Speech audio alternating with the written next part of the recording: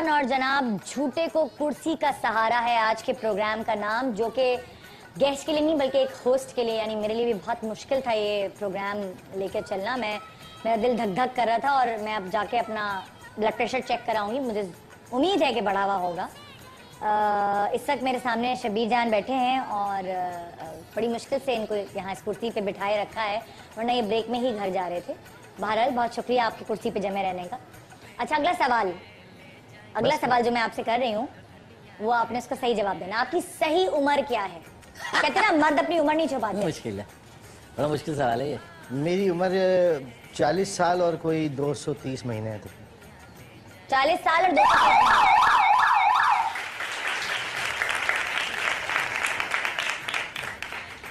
सही उम्र औरतें छुपाती हैं मर्द थोड़ी छुपाते हैं। तो मैंने कहा छुपा मर्द अपनी तनख्वाह छुपाते हैं। आप तनख्वाह छुपाते हैं अपनी बीवियों से अपनी? पैसे छुपाते हैं? हमारी तनख्वाह ही नहीं है। नहीं तनख्वाह इन द सेंस के जो कमाते हैं बैंक स्टेटमेंट वगैरह वो छुपाते हैं या बता देते हैं कि बैंक में इतने पैसे हैं? हाँ हाँ बता देता हूँ मैं। नहीं छुपाते आप? नहीं। तो उम्र क्यों छुपा रहे हैं? उम्र कहाँ छुपा रहा हूँ? चालीस और दो साल? चालीस साल और एक सौ अस्सी महीने। अच्छा कभी कभी फरीदा आपा सूटकेस पैक करके घर छोड़ के गई? कि मैं घर छोड़ के जा रही हूँ? चली जाएँगे मुझे लग रहा है वो। अच्छा मेरी वाली जाएगी नहीं। मेरी वाली जाएगी भी नहीं। तो क्या करेगी? पीटेगी नहीं तो हाँ आपको निकाल दे अब मजीद इस तरह की बातें होंगी तो वो जाएँगी वाकई नहीं वो हमें निकाल देंगी। चले जाएगा अच्छा बच्चे जब लड़ाई होती है आप लोगों की तो बच्चे आपका साइड लेते हैं या अपनी माँ का साइड लेते हैं? दोनों की साइड लेते हैं वो। दोनों की साइड लेते हैं? लेकिन फिर भी किस बच्चे का ज़्यादा जो झुकाव है वो आपकी तरफ़ होता है? बेटे का कि बेटी का? बेटे का भी होता है बेटी का भी दोनों का मेरी तरफ़ होता है झुकाव। अच्छे लेकिन वो कोशिश करते हैं कि दोनों को बराबर रखें।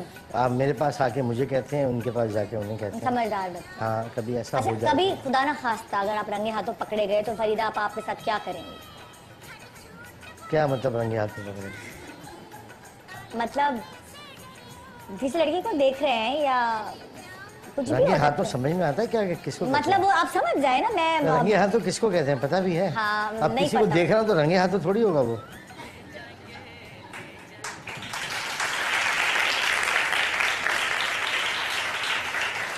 रंगे हाथों अच्छा लफ्ज नहीं होता। अच्छा चले इस इस लफ्ज इसलिए मैं आपसे कह रहा हूँ हाँ। कि आज आप पता नहीं आप किस मूड में आई हुई हैं? समझ नहीं आ रहा मुझे।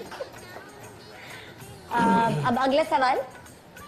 अगला सवाल। अगर फ़र्ज़ करें कि मैं आपसे ये पूछूँ आपकी पहली मोहब्बत यानी आपकी पहली शादी से भी पहले पहली दफ़ा आपने किसी लड़की से मोहब्बत की हो तो वो कौन सी एज होगी आप?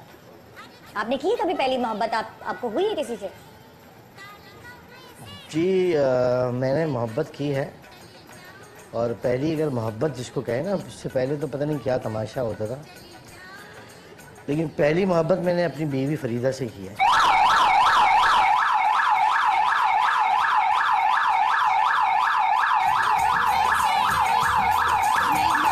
क्या तमाशा है क्या लगा है भाई ये?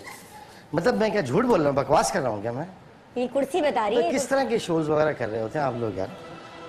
किसी को बुला के किसी के साथ तमाशा करना ये कहाँ कहाँ का तरीका है ये?